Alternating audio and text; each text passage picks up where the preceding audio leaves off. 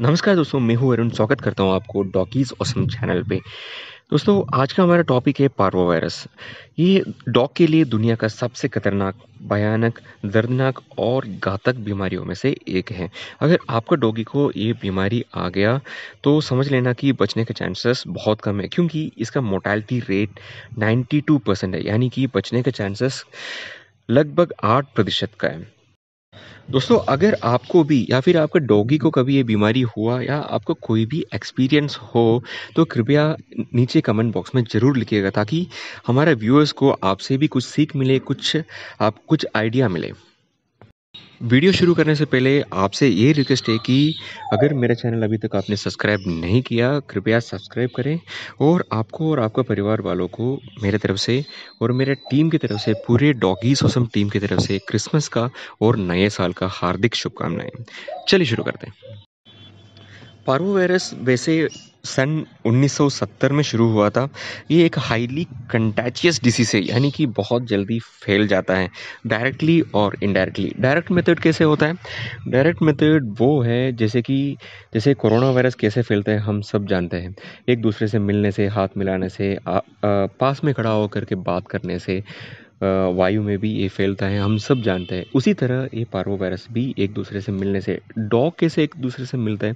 जब भी डॉग मिलता है तो देखिए डॉग का एक आदत है कि स्निफिंग का, जिस तरह इंसान का fingerprint fingerprint unique होता है, उसी तरह नोज़ का प्रिंट्स होता है, वो भी हर डॉग का यूनिक होता है। इसलिए एक इंपॉर्टेंट एंड यूनिक फीचर है डॉग्स में स्निफिंग। तो ये जब स्निफ करता है, सूंघता है तो ये बीमारी बहुत जल्दी फैलने का चांसेस हैं। और इनडायरेक्टली कैसे फैलता है?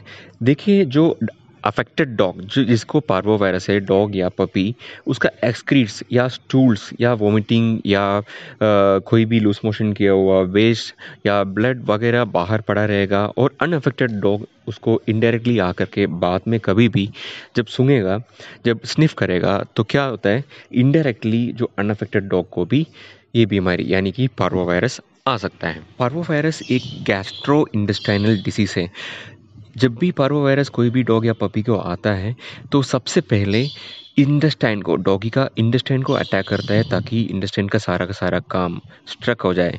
उसी कारण कोई भी प्रोटीन लॉस कोई भी ब्लड लॉस वगैरह डॉगी को दिखने लगता है। वैसे पार्वो वायरस सारा डॉग्स को नहीं आता। खासकर पपीज़ को आता है। पपीज़ भी छः महीने तक का पपीज़ छः महीना उम्र तक का पपीज़ को ये बीमारी आने का चांसेस ज़्यादा होता है। वो भी अनवैक्सीनेटेड पपीज़ को बहुत ज़्यादा चांस है ये बीमारी आने का। और रोटवेलर जर्मन शेपर्ड जैसे कुछ ब्रीड्स है खासकर, उनको अगर ये पारो वायरस आ गया तो बचने के चांसेस बिल्कुल ना की मात्रा में। आइए देखते हैं इसका साइंस एंड सिम्टम्स क्या हैं। अगर आपके डॉगी को ये बीमारी हुआ तो पता कैसे चलेगा कि पारो वायरस आ गया करके? आइए देखते हैं। सबसे पहले लेतार्जी लेतार्जी का मतलब है कि सुस्त पड़ा हो। अगर आपका डॉगी कहीं कोना में ऐसे सुस्त पड़ा हो, बिल्कुल खाना ना खाता हो तो इसे कहते हैं कि लतारजी। अगला पॉइंट है कि वॉमिटिंग वॉमिटिंग वैसे नॉर्मल है, अगर कोई भी इंडाइजेशन हो खाने पीने में कोई गड़बड़ हो तो वॉमिटिंग होता है। लेकिन पार्वो वायरस आने के बाद जब वोमिटिंग होगा, बिल्कुल इनटेक होगा नहीं, फिर भी वोमिटिंग होगा। बिल्कुल खाना बिल्कुल खाएगा नहीं, फिर भी वोमिटिंग होगा।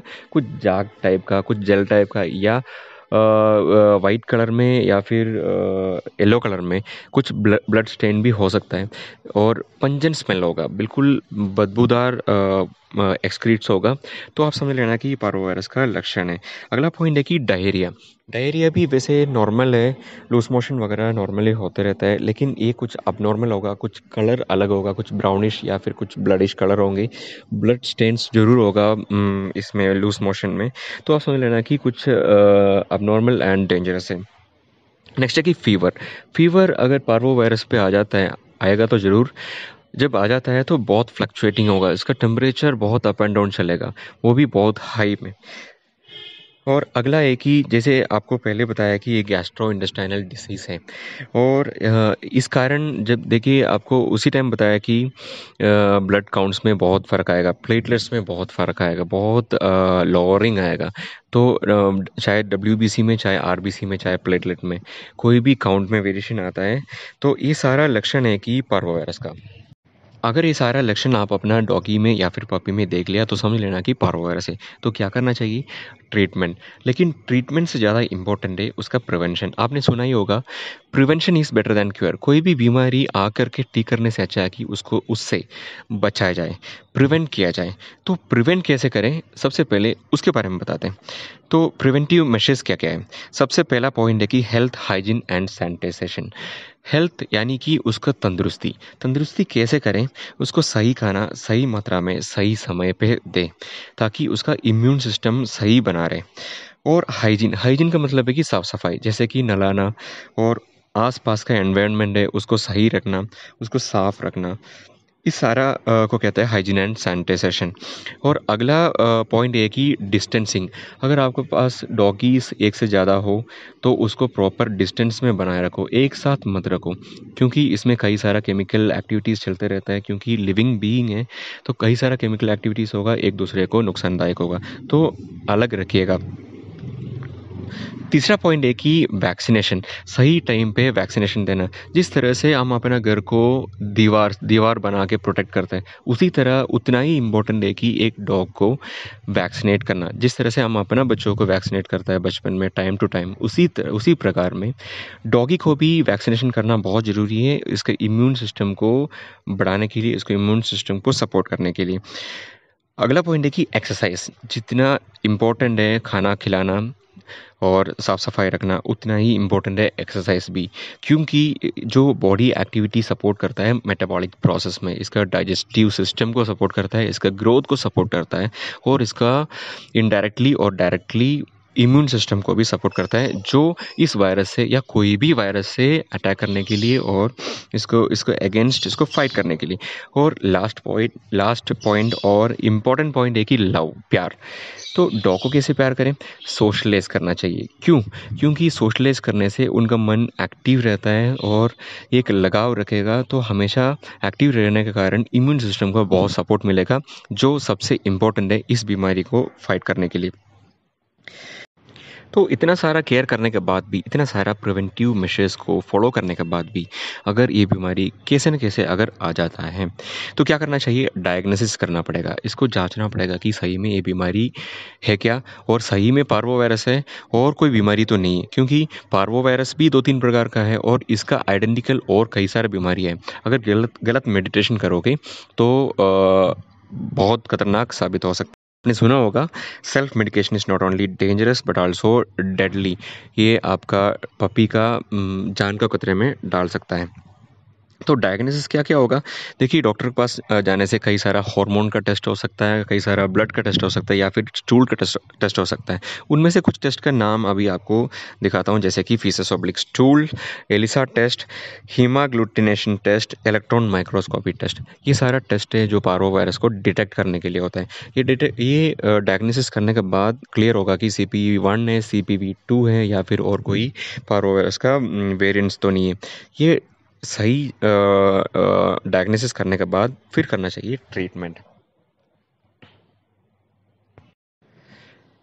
और एक बात बताऊँ इस बीमारी के लिए कोई भी ट्रीटमेंट है नहीं, कोई भी क्योर है नहीं। अगर ये बीमारी आ जाता है पहले आपको बताया कि इसका मोर्टैलिटी रेट इतना है 92 परसेंट है तो बचने के चांसेस भी बहुत कम है। इसमें ट्रीटमेंट कोई किया नहीं जा सकता। इसमें एक ही काम किया जा सकता है डॉगी का इम्यूनिटी को बरकरार रखें।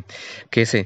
इसमें कई सारा मेशर्स इसमें भी देखना है और कोई ट्रीटमेंट स्पेसिफिक ट्रीटमेंट नहीं, इसमें कुछ तरीका अपनाना पड़ता है। जैसे कि सबसे पहले, जैसे हम कोरोना वायरस में अपनाता है जो भी अफेक्टेड पेशेंट्स होगा, उसको क्वारंटाइन करता है, उसको सेग्रीगेट करता है, उसका दूसरे लोगों से अलग रखता है। उसी तरह इसमें भी जिस डॉग को या पप्पी को ये बीमारी आता है, उसको बिल्कुल अलग अलग रखने का कोशिश कीजिए।